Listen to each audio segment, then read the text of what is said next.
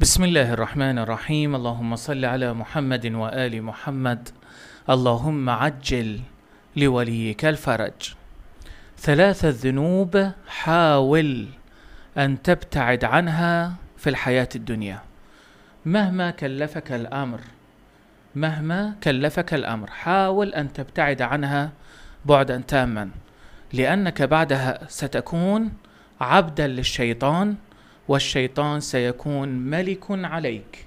فلن تستطيع أن تتحرر منه ابدا. فتخرج من ولاية الرحمن وتدخل في ولاية الشيطان. وعندها يتبرأ منك الله وأهل البيت عليهم السلام.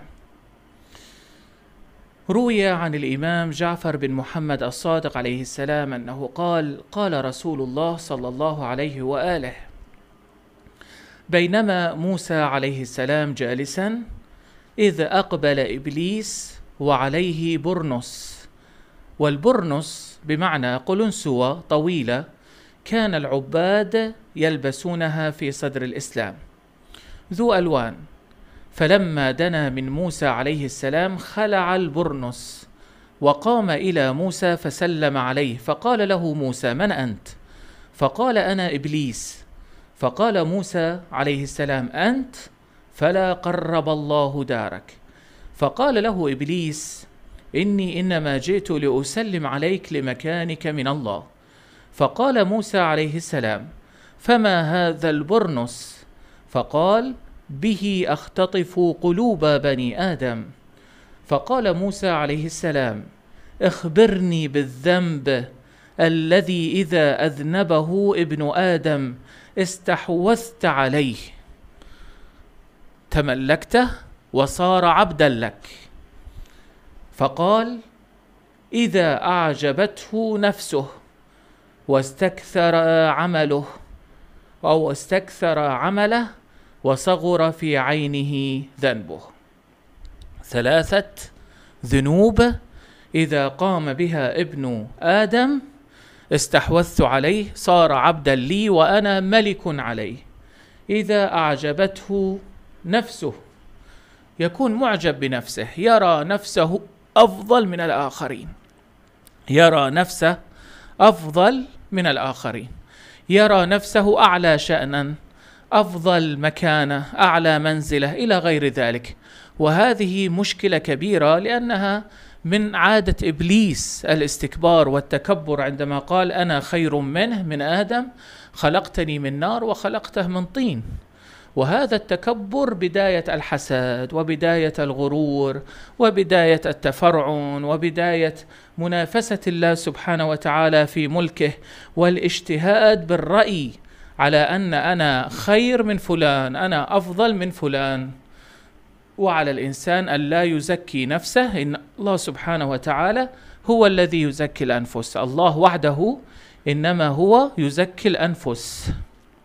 وأكرمكم عند الله أتقاكم. فقال فإذا أعجبته نفسه واستكثر عمله ترى أعماله بسيطة ولكنه يرى نفسه عابدا عاملا قاضى قاضي لحوائج الناس في خدمة المجتمع إلى غير ذلك. كل عمل يعظم في عينه ويرى بأنه أفضل الناس عملا أكثرهم عملا إلى غير ذلك وصغر في عينه ذنبه. أي بمعنى مهما أذنب قال كل شيء ما سويت سوى ذنب شنو معناه؟ يستهزئ بالذنب يصغر بعينه. لا ينظر لمن عصى وإنما ينظر إلى الذنب. المفروض هو ينظر لمن عصى عصى الله عز وجل. هذا الشيء يجعل الإنسان دائما لا يستغفر يجعل الإنسان لا يبكي بين يدي الله سبحانه وتعالى يجعل الإنسان يتجرع على المعاصي والذنوب ثم يقسى قلبه ثم يكثر من الذنوب ثم ينسى الله سبحانه وتعالى. فهذه الذنوب الثلاثة قدر الإمكان اتركها. عندما قيل لرسول الله صلى الله عليه وآله كيف أكون من عباد الله الصالحين؟ كيف أكون من أولياء الله؟ كيف يرضاني الله عبدا ولكم تابعا؟ فقال له النبي صلى الله عليه وآله عندما تخرج من بيتك لا ترى أحدا وأنت ترى نفسك أفضل منه. هكذا هو الإنسان المؤمن. إذا رأيت من هو أكبر منك قلت سبقني للطاعة. وإذا رأيت من هو أصغر منك قلت سبقته للمعصية. وإذا رأيت أحدا ربما لديه أخلاق سيئة قلت ربما لديه عمل صالح تغلب هذه السيئات. وإذا رأيت شخصا هو أفضل منك أو أنت أفضل منه كما تتصور. قل إنما الأعمال بالنيات والعاقبة هي والخاتمة هي التي تحدد حسن العاقبة. أي بمعنى بما أنك زلت بما أنك ما زلت تعيش في الحياة الدنيا فلا تحدد من هو الأفضل. من هو الذي فاز؟ من هو صاحب العاقبة الحسنة؟ حتى تصل إلى لحظة الموت وترتاح وأنت تتشهد الشهادتين. هنا قل بأنه بحمد الله عز وجل فزت ورب الكعبة. كما قال الإمام علي بن أبي طالب لم يقلها ابدا وهو المولى علي بن أبي طالب لم يقلها إلا في آخر لحظة من حياته. كذلك الإنسان عليه الا يعظم عمله مهما قدمت من أعمال الله عز وجل إنما هي ضئيلة وحقيرة وصغيرة ابدا ولا قيمة لها أمام أعمال رسول الله أمام أعمال علي بن أبي طالب أمام أعمال السيدة الزهراء أمام أعمال كربلاء الإمام الحسين عليه السلام. مهما عظم عملك الصالح فلا تعظمه في عينك أو في عين الآخرين أو تتباهى به أمام الله سبحانه وتعالى.